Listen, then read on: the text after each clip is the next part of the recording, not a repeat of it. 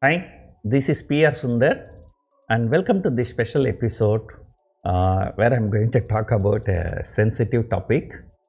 And the hot discussion among the trading community uh, is the budget.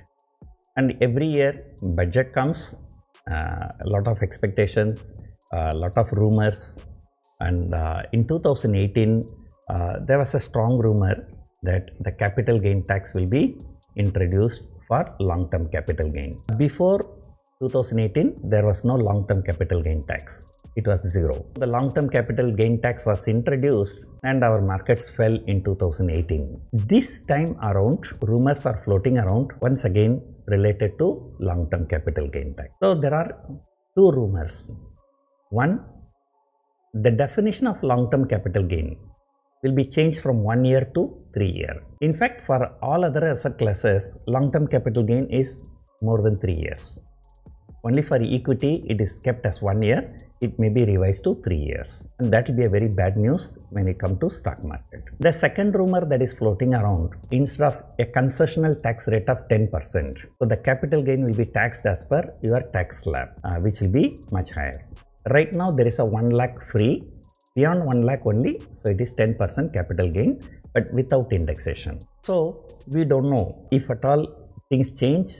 Uh, if the capital gain is clubbed under your income uh, whether it will be clubbed under your income for the total profit or with indexation benefit. So these are all lot of uncertainties. These rumors everybody knows. So what is this video is about? I'm going to put my argument why dividend should not be taxed or why capital gain, at least the long term capital gain tax should be zero. Let me give you one analogy. Let us say uh, four or five of us come together and each one contributes some money and we set up a company which is a partnership company. If some of us come together, contribute some money each, so we are all partners so we set up a company called partnership company. That partnership company does the business, makes the profit, pay the tax to the government. After paying the tax, whatever the money is there, that can be distributed to all of us and we will not be required to pay tax.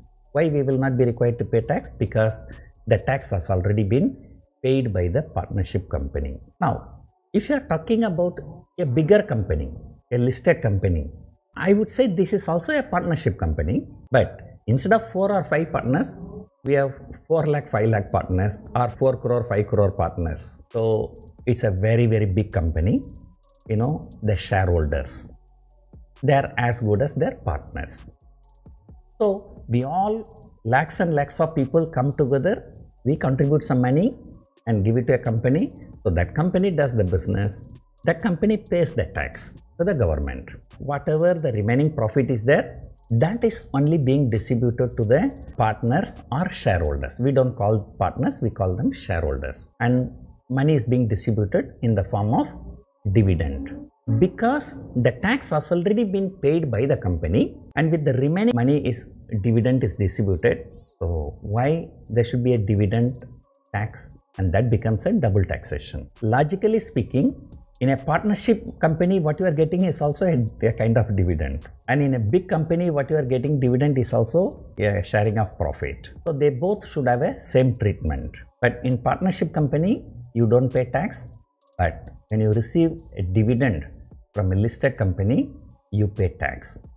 So this becomes a double taxation. And same thing if a company does very well makes a good profit then the company pays a good tax to the government.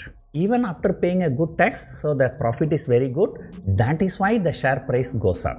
If the company is not doing well and if they are not making profit, they will not pay tax to the government, but their share price also will not increase. So the share price goes up, okay, which means that the company has been doing very well and that company is already being paying tax a very well amount of money as a tax to the government. So when here I am booking the profit. So which means I am getting out as a partner from this company. I am transferring my shares to somebody else and he becomes a partner in the company. When I am exiting, that is because I am exiting with a profit because my company has made good profit and paid the good tax to the government. So now for this capital gain, if I am paying tax once again, so this again becomes a double taxation. Logically speaking, we are shareholders are just like partners and our partnership company uh, paying tax to the government and that is why the dividend we are receiving directly from the company or the capital appreciation we are receiving indirectly from the company. If the company is not doing well, share price will not go up. So both these cases we are paying tax so that amounts to uh, double taxation. And the worst thing is that you know the previous government uh, when I say previous government is a Congress government, when they removed capital gain tax, long term capital gain tax, they brought in STT, security transaction tax. So that time the argument was that, you know, uh, this security transaction tax is introduced in lieu of capital gain tax. But that logic itself is wrong. Why? Because capital gain tax is being paid by the people who make the capital gain but STT is being paid whether you make a profit or you make a loss. So everybody will have to pay. But now capital gain tax is also introduced and STT also continues to stay. But despite all this discouragement, you know, our Indian markets have always been good and uh, the volumes always going higher and uh, National Stock Exchange of India retains the uh, privilege of being the largest derivative exchange in the world. Uh, but however, so uh, what I thought, I'm just putting it. So there is no logic in taxing dividend income. There is no logic in uh, taxing the long-term capital gain tax. But you know, just to conclude, you know, one of uh, Tamil uh, lyrics writer spoke somewhere. The taxation, there are two ways. No, one, honeybee is taking honey from the flower. That is one way of taxing. Another one is uh, sugar cane juice is extracted from sugar cane. Somehow I feel that uh, taxation in India uh, belongs to the second category. Uh, it should belong to uh, the first category. Let us see uh, what happens in the budget.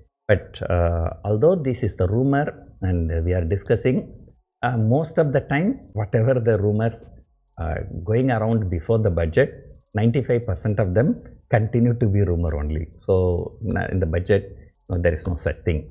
So anyway, uh, 2018 when this rumor was floating around, I did not believe that, but that came. Long-term capital gain tax came. So this time, I just do not want to take a chance. And uh, as a trader, I'm planning to close my positions before the budget I will start recreating the positions after the budget. I will like to go uh, with zero positions ahead of the budget. But incidentally, on the same day, we have a Fed meeting also. Uh, sometimes it's better to be away from the market. So hope you enjoyed watching this video. Thank you for watching.